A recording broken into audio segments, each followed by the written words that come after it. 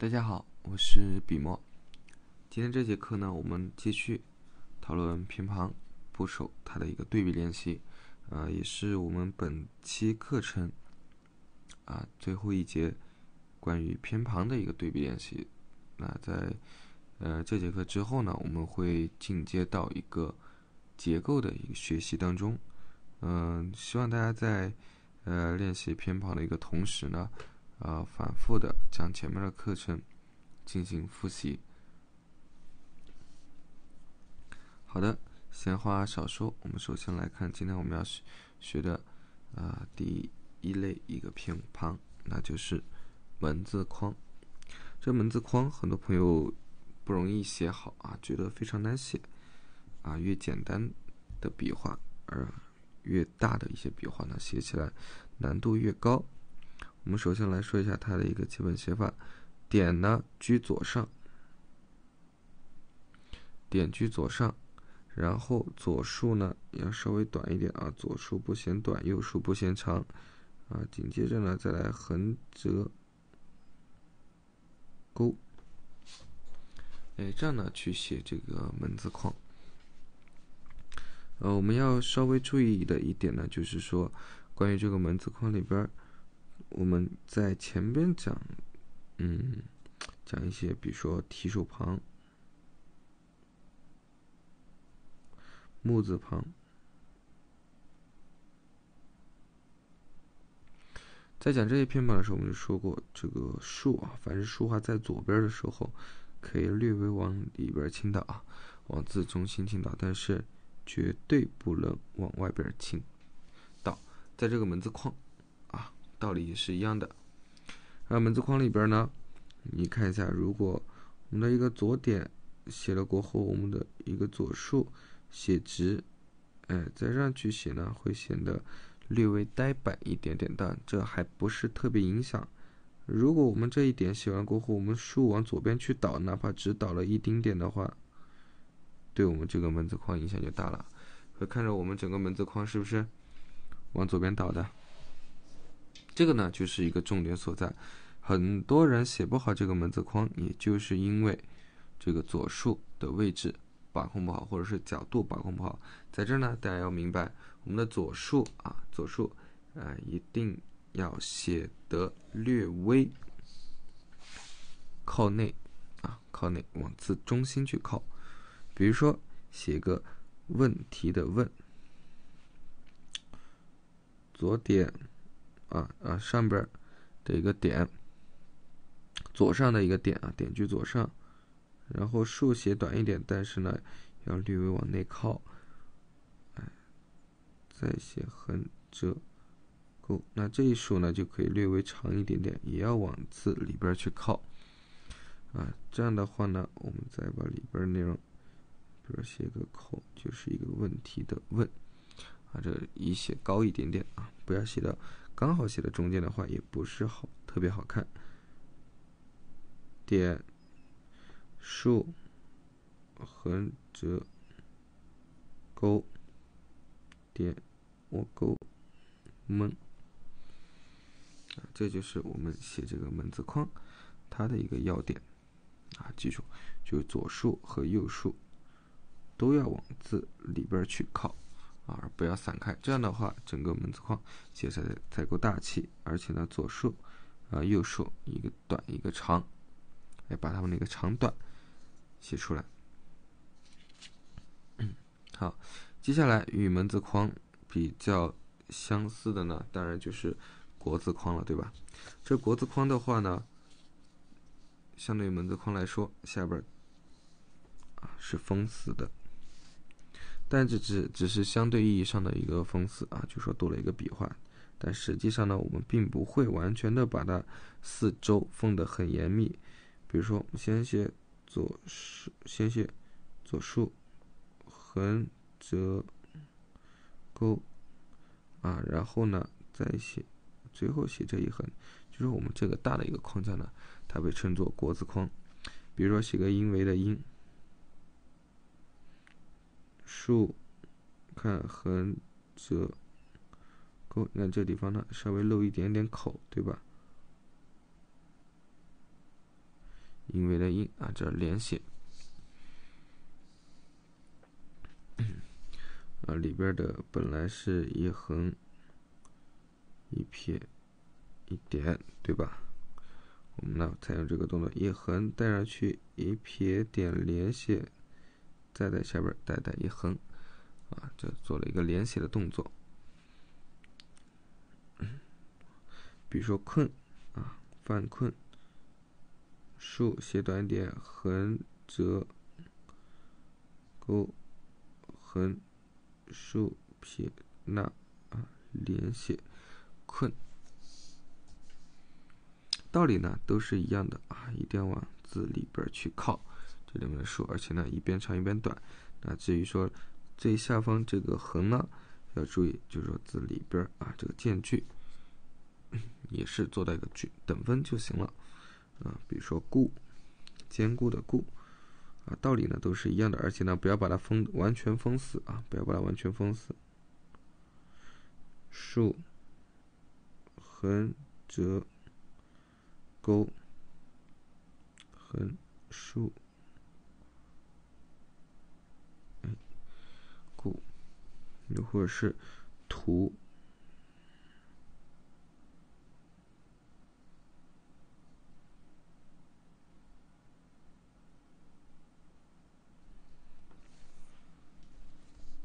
图，啊，这就是我们文字框与这个国字框它们的一个对比练习。注意，整体呢再强调一遍：左竖写短一点，右竖写长一点，这两竖呢都要往中间去靠，啊，再往中间去靠。那整个字形呢应该是，呃，不是特别方正，偏瘦长一类，不要写的完全的方方正正的，这样呢字会看着比较呆板一点。好，接下来呢我们来说一下这个木字旁。和木字底，木字旁，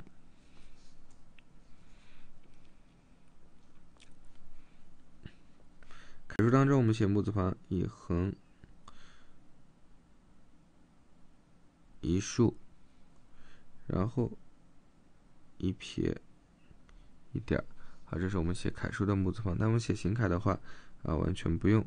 这样一笔一画上去写一个横上去连带一竖，连带一竖，然后呢一个回折撇的动作上去减省这个点儿啊一撇往上一带，这样呢就写到一个木字旁，而且起笔呢要高啊，竖的一个起笔要高。比如说我们写个竖零的零，横，然后下笔起笔高一点。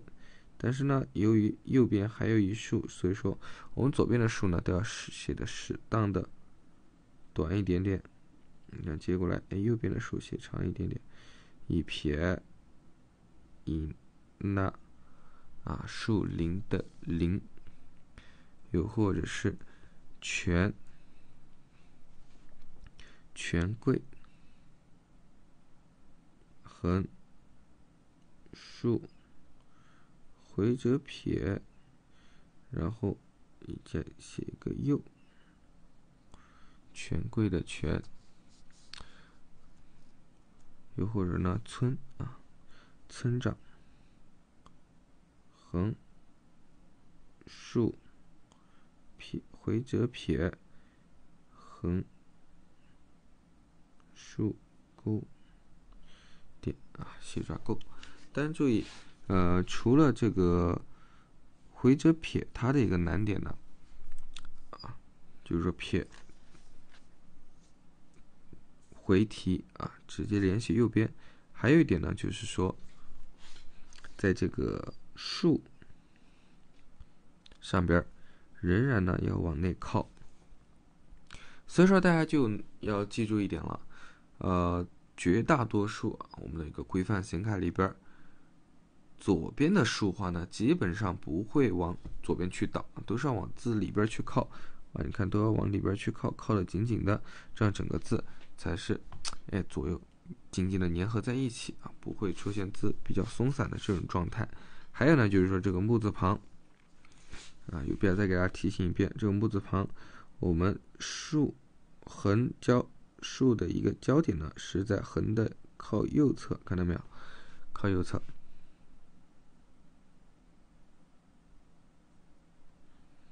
靠右侧啊这是中间嘛中间稍微靠右一点。为什么？因为还是要把空间让出来。你看一下如果我们写零啊我这一竖写到靠左左了，你看这样的话呢，我这边是不是出来就很多，占空间的，对吧？你再把这按原来的一个地方去写的话，也看着就会很拥挤啊，这儿还凸出来的，凸出来特别多，所以说呢，一定要靠横画的一个右侧。把这一部分呢给它藏住。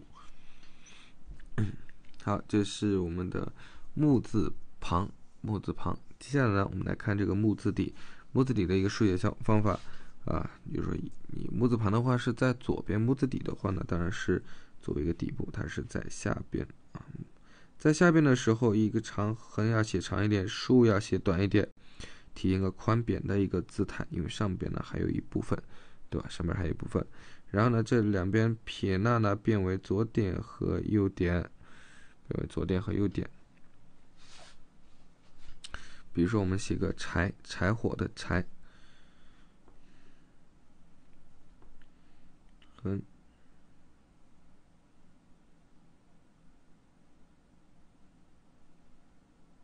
看横过来，竖钩，左点，右点。柴火的柴，或者写个花朵的朵，花朵的朵，看撇横折弯，看直接带过来一一个长横，然后呢再来勾左点右点花朵的朵，或者是梨。啊，梨花的梨，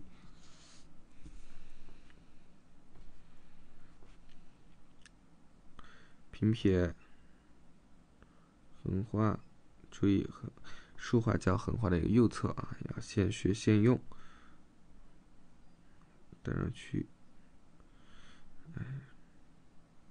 横画，竖画，左点，右点，啊，梨花的梨。梨树的梨，那这呢就是木字底它的一个写法。但是这两点呢仍然是注意这个间距的一个安排，间距的安排。这是梨花的梨，然后我们来看下一个偏旁，火字旁。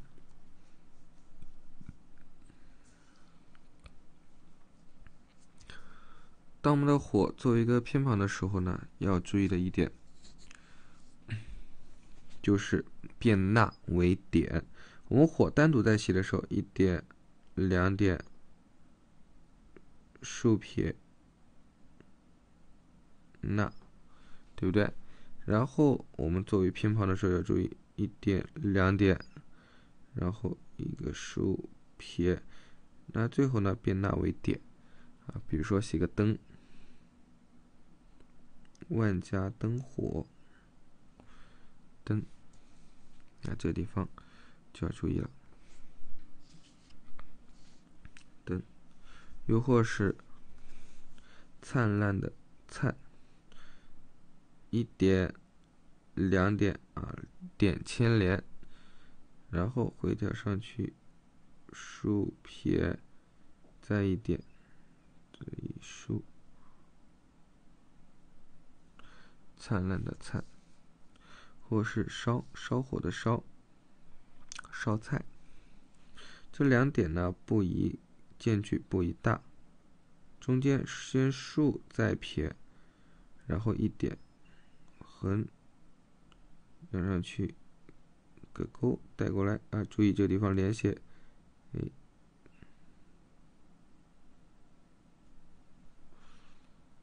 哎，烧。好，再写一遍这个烧啊，注意右边的一个绕法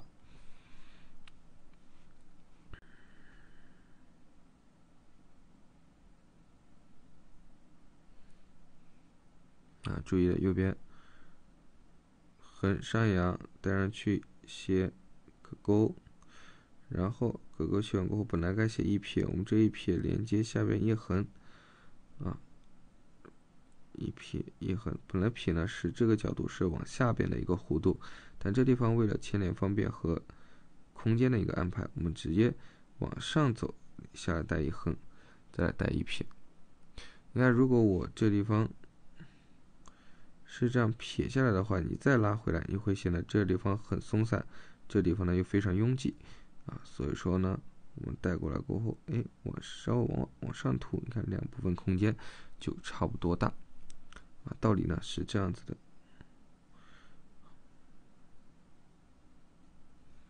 烧啊，烧菜的烧啊，这边稍微写大了一点点啊，重新写。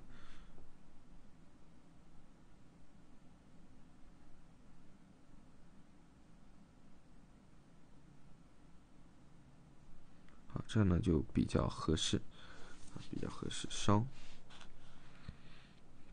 那火字底，火字底呢仍然是和上边木字旁、木字底它们的一个区别是一样的，因为作为底部的话呢，肯定这个字形上，叫啊这个偏旁它的一个形状上呢就要稍微小一点点的啊一点，然后诶一个竖撇，再加。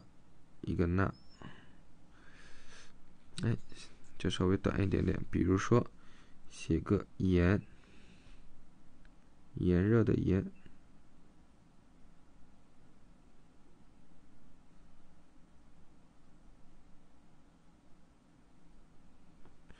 炎的炎，又或者写烫，一点，两点。加上去啊，横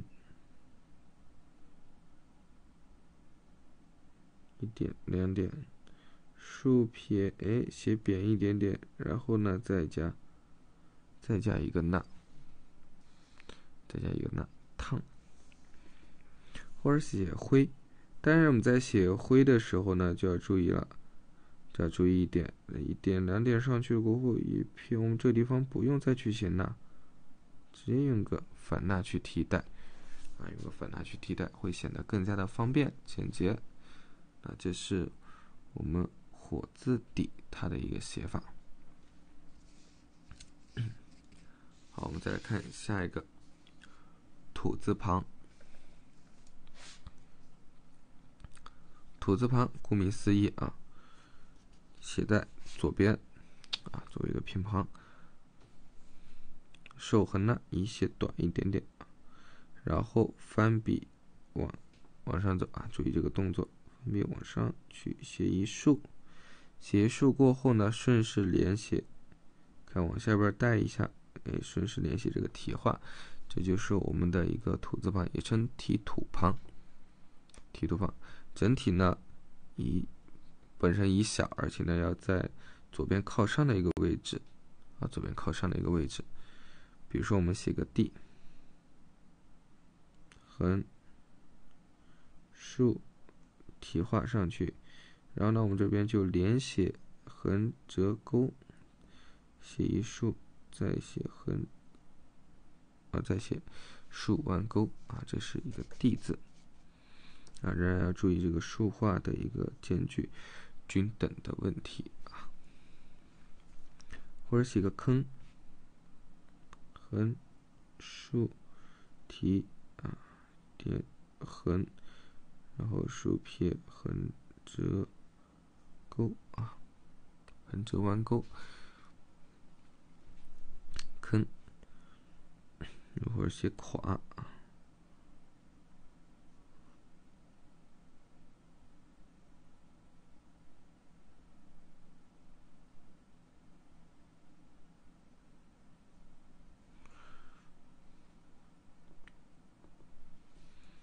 提土旁，写慢一点，再写快。然后注意，你看这个间距，间距啊，我们就依靠这个间距，再来这个间距啊，右边呢稍微伸长一点点，稍微伸长一点，左伸啊，左缩右伸啊，有伸展，方向灵活，快，好。那我们来，接下来我们来看这个土字底，当土字啊在底部的时候，除了它的宽扁，我们还可以怎么呢？改变它的一个笔顺，改变它的一个笔顺，来达到快速书写的目的。像刚我们在写提土旁的时候，仍然是采用的一个常规的笔顺，对吧？采用常规的笔顺。我们这时候，哎，一横一竖再一提。那我们在写土字底的时候就不一样了，我们可以先写一竖，对不对？然后再写一横，啊，再一横过来，也改变它的笔顺，达到便捷书写的目的，达到便捷书写的目的。所以我们来看圣人的圣，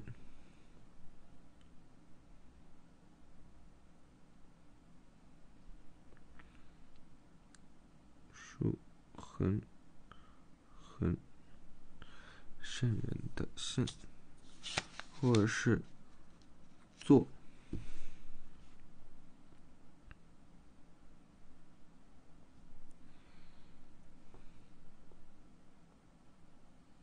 竖看横做，又或者是型型号的型横横。竖竖拿下来，然后一竖横，嗯，改变它的笔顺，达到便捷书写的目的。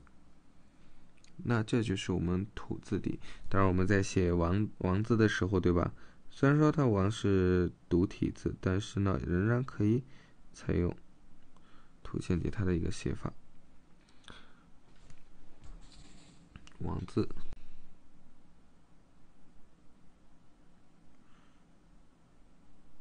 玉字，又或者是像我们上节课说到的一个宝字，对吧？下边有个玉啊，宝字，又或者是王，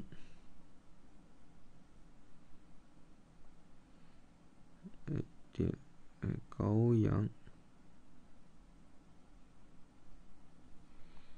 王。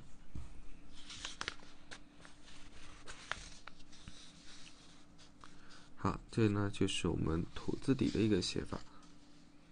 接下来我们再来看“月”。我们单独在写一个“月”字的时候，要注意这一撇开、横折钩啊，整体呢要瘦长，然后一横两横啊，间距的一个分割，间距的分割。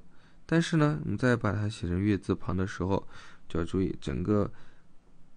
嗯，形状呢，以更加的窄，更加的长啊，瘦长啊，而且这个撇呢，改成竖撇过后，不用不用出锋，哎，我们写到这儿就完了，哎，更加的瘦一点点，看更加的瘦了，对不对？那带上的话，我们连这个两横都可以采用个连写的一个姿态，采用连写的一个姿态，比如说写个肘啊，肘字，肘击，手肘。或者是一个内脏，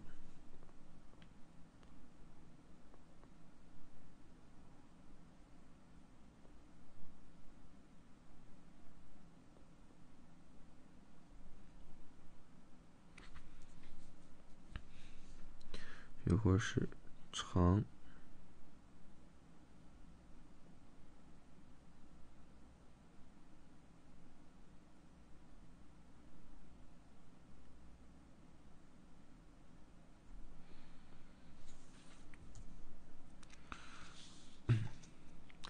是明月的明，大家注意，刚刚说了啊，我们像写土字底啊那个土字旁的时候就说了，我们形小的这些偏旁呢，呃，在左边的，一把它写的左上啊，稍微往上靠一点，明，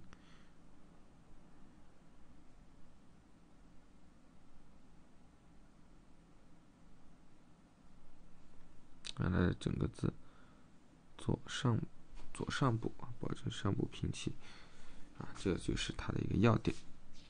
当然，它其他的和我们单独在写这个月的时候呢，没有什么太大的差别啊。包括一个线条的牵连，看一个细爪钩一点两点，啊，这个倒没什么太大的一个难点。都是前面讲过的内容。但是做一个月字底的时候呢，除了它写法上，呃，没有什么太大改变之外呢，它的撇画会改成一个竖画来写，比如说写个青天的青，然后月字底啊，在下边，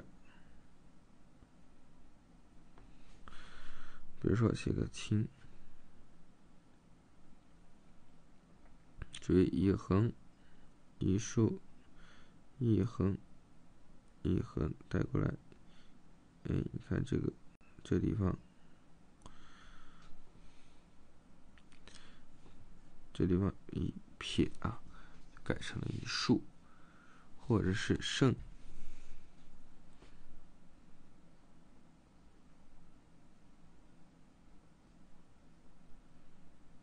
看一竖啊，一竖就直接下来回回上去，然后呢，再来一个勾带上去，两连横呢也把它写的尽量的小一点点，尽量的小一点点，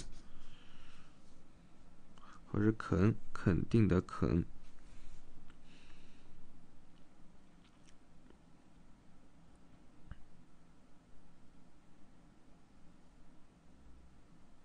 这一竖下来。带上去，这勾上去，嗯，带下来，肯定的肯。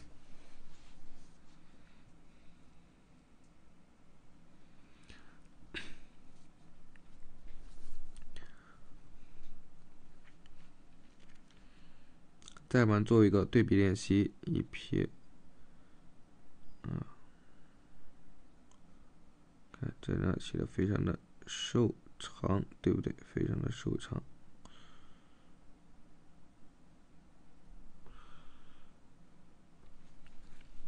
把右边写小了，重新写，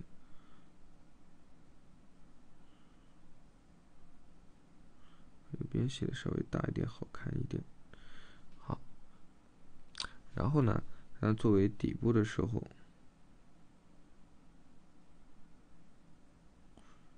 看，注意这一竖下来，哎，它并没有去写出一种撇的感觉。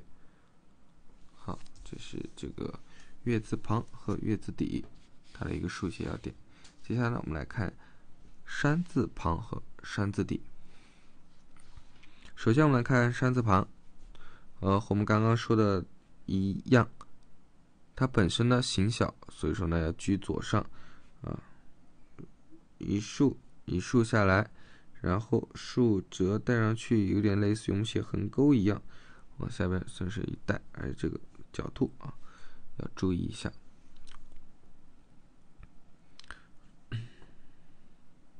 再写一遍，一竖，然后竖折带上去，往回一带。比如说写个毅力的毅，写个毅力的毅，一竖。竖折，往回一带，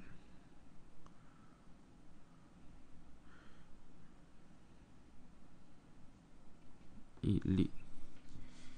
好，我们再来看下边，零，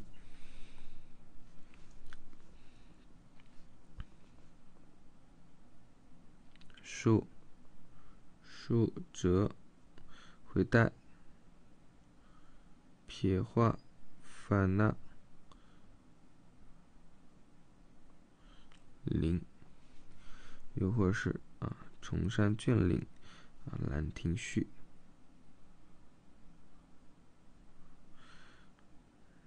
上面小曲折的一个替代。好，这边拉回来，直线接，崇山峻岭。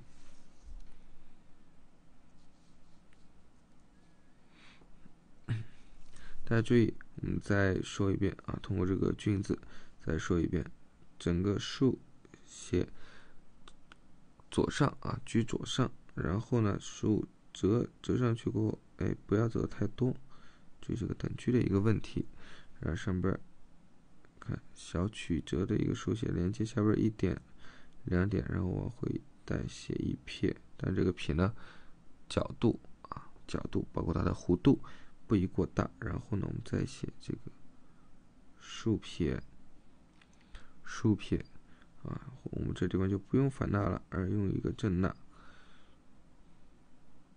用一个斜捺，对不对？下来，均令。那当然，山字头的话呢，就不一样了。山字头，山字头在上，整体呢以写的不像刚刚写的瘦长的，而呢整体呢以写的更宽一点点，更扁一点点。这呢是山字头的一个写法，因为它在上边儿。比如说我们写个岁啊，注意这个等距的一个问题，等距的一个问题。数往回一带，岁，又或者是起，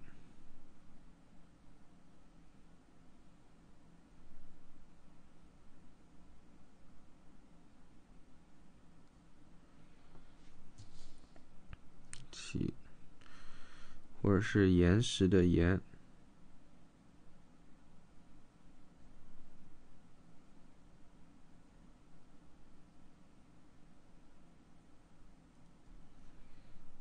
岩石的岩，河岸的岸，等等啊，都形似呢比较宽扁，因为呢它是在字的一个头头上啊，距一个字的上边所以说这地方啊，当然在这个河岸的岸，顺便给大家说一下，这两竖是要错开的，不要写到一起去。道理呢和我们。嗯，在上节课说到的那个“居”啊，狮子头，说那个“居”道理是一样的。比如我们这，我们说这个“居”的弦骨啊，它不是这一竖啊，不是居中的，是要靠右一点点，撑起右边，撑起右边，方显稳固啊。包括以前我们写的那个“在”字，一个在左，一个在右。一个在右，这个按的道理呢也是一样的啊。你看，虽然说三字头我们居中啊，无可厚非，无可厚非，但是我们接下来这一横一撇啊，我们左边起到支撑了，我们右右边也要支撑，对不对？所以说这一横两横，哎，我们再支撑起右边，这样的话呢，整个字会显得更加的稳固。写在中间的话呢，就没有这种效果。这呢就是一个小细节啊，大家注意。好了，这个偏旁的一个写法，包括它的一个用法呢，在通过这两节课就给大家做了一个嗯详细的演示啊。希望大家就是说下去呢反复的观看视频，再去熟悉一下。呃，从下节课开始呢，我们就开始为大家讲解这个解体。一系列的问题。好了，这节课呢就到这儿。